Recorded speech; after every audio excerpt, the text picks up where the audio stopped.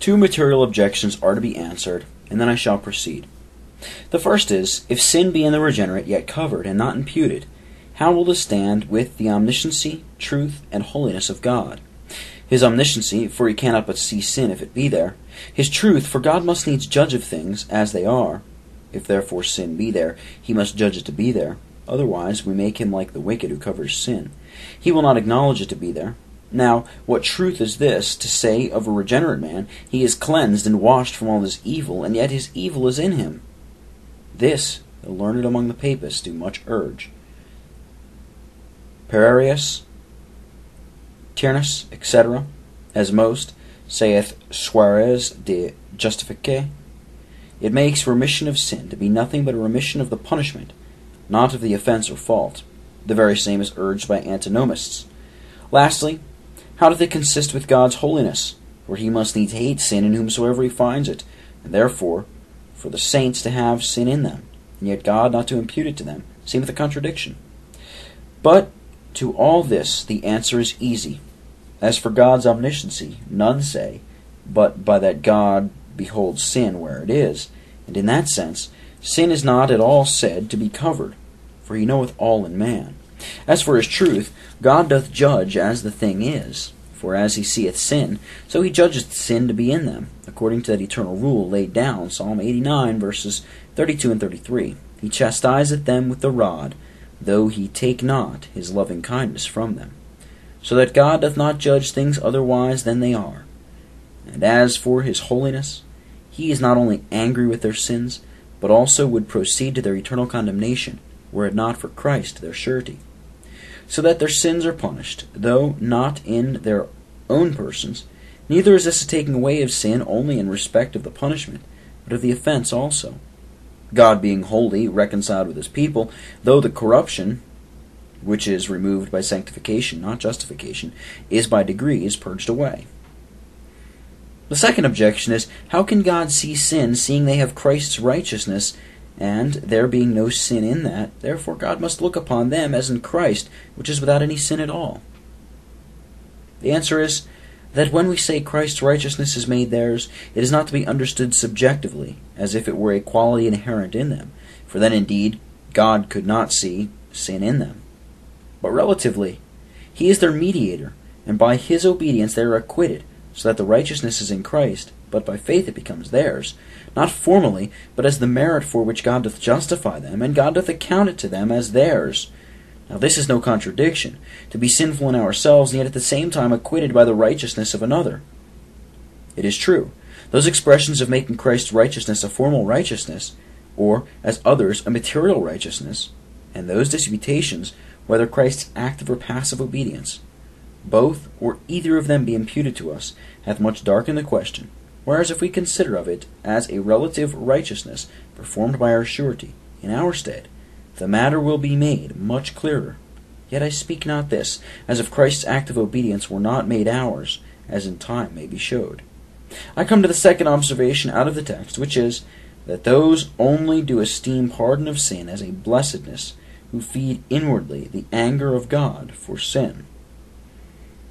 David here in this psalm, being deeply wounded with the guilt of his sin, judgeth not his kingdom, his wealth, his conquest over enemies, an happy thing, but pardon of sin. Now the ground of this, because such is our custom, though it be our though it be our weakness, excuse me, to esteem of mercies more carendo quam habendo, by wanting of them than having of them, the blind man earnestly desireth sight, the lame man prizeth sound limbs. A people distressed with war, and finding the bitterness of it, commend peace. Thus it is here. A man afflicted and embittered in his soul because of sin, he doth highly admire forgiveness, and accounts those happy that walk in the sense of God's favor. Though innocency or freedom from sin may be majus beneficium, a greater mercy than pardon and reparation, yet this is dulcius beneficium, a more sweet mercy to the sense and feeling of him who enjoyeth it.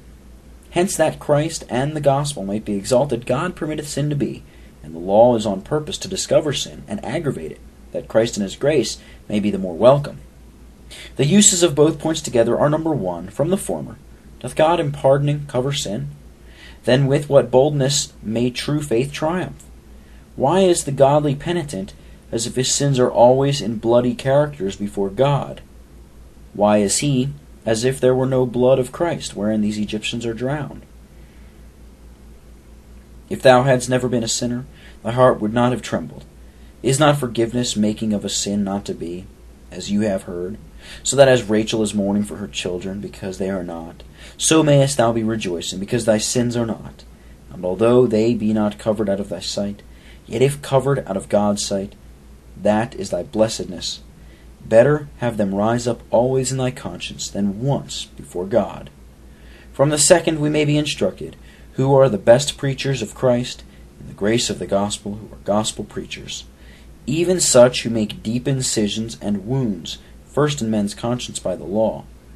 The only way for a minister to make his auditors relish and favor uh, relish and savor, excuse me, of Christ and grace indeed, is to keep them in a godly sense and apprehension of their infirmities. We are not in our first conversion only to have throbs and pangs after God's grace, but also this hunger and thirsting after Christ, is to be kept up in the progress of sanctification. And therefore, as those ministers are to be blamed, if any such, that do only press duty, discover sin, but never set forth the fullness of Christ, so they also are to be blamed, who only press such texts as manifest God's grace, but never open that issue and fountain of all the filth that is within us. Both these tempered together are like Aaron's excellent compound.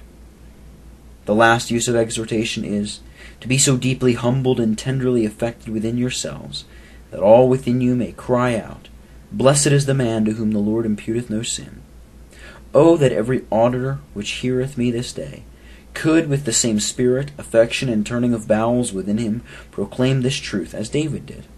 What is said of Paul's epistles is also true of David's psalm. Nunquam Davidus mentem in Telegus, Nisi, Prius, Davidus, Spiritum, Imbiberus.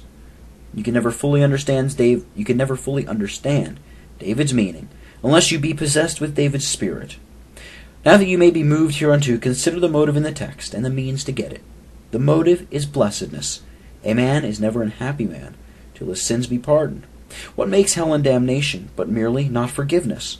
Thy wealth, thy greatness, thy honors cannot bring that happiness to thee, which remission of sins doth. Hence this is the cause of all other blessedness. And observe here, excuse me, and observe, here is a great deal of difference between this place, blessed is the man whose sins are pardoned, and those texts where he is said to be blessed that feareth always, where he is said to be blessed that walketh not in the ways of the wicked. For in the text is showed the cause or fountain of blessedness, that is, remission of sin. But in other places there is only deciphered who they are that are blessed. A man that feareth is blessed, but his fear is not the cause of his blessedness. A man that liveth godly is blessed, but his godliness is not the cause of his blessedness. But his pardon of sin makes him blessed in all his grace. Thou art blessed, not because thou prayest, hearest, livest holily, but because God doth forgive all thy sins and imperfections in these duties. If therefore your graces, your holy duties, are not the cause of your blessedness, never think your outward mercies can be. The means to obtain this is in the text, by having no guile in the heart, that is, by not hiding our sins, but repenting of them, and confessing them to God. For this, saith David, every one shall pray unto thee in an acceptable time. For this, that is, for this remission, and because thou wast so ready to forgive, when I said, I will confess my sin, therefore shall every one seek to thee. Where, by the way, let none abuse that place. Verse 5 David said he would confess, and God forgave it. David did but say it, and God pardoned it. So some have descanted upon it. But to say there, according to the use of the Hebrew word in some places, is firmly to propose and decree so resolvedly that he will be diligent in the practice of it. Do not therefore think that a mere lip labor is that brokenness and contrition of spirit which God requireth as the means to pardon.